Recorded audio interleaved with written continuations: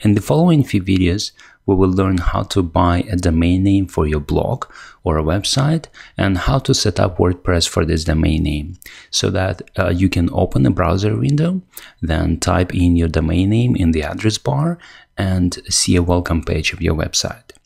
And once we have a domain name, we will also configure it to be used with G Suite. But uh, email setup and configuration we will cover in the following videos. So uh, to begin with a domain name and a WordPress setup, uh, I would like you to use uh, my web page, which contains a link to Bluehost and a link to uh, G Suite account setup.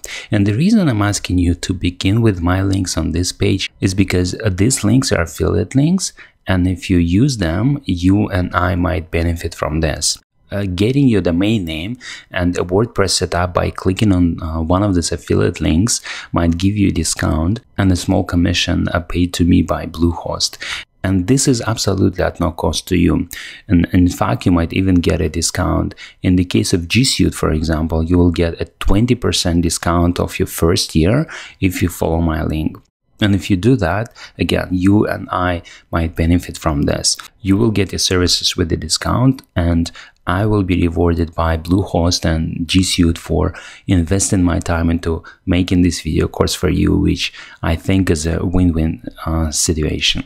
And of course, if you use my video course and use my affiliate links to, to set up your domain name and your G Suite account, I'll be very thankful to you and will be here to help you and answer your questions. But of course, there is no obligations. You can still follow my video course and you can get your domain name and a G Suite account set up and not use any of my links. You might still get uh, some promotional discount from Bluehost, for example, but I will not be able to give you 20% discount from Google, although technically everything will still work as expected. So let's get started and get you a domain name and a hosting account with Bluehost. So uh, please open in your browser window the following address. It is blogsmarty.com forward slash resources. Scroll down the page a little bit and you'll see a green button that says start with Bluehost. You'll need to click this button to begin setting up your domain name.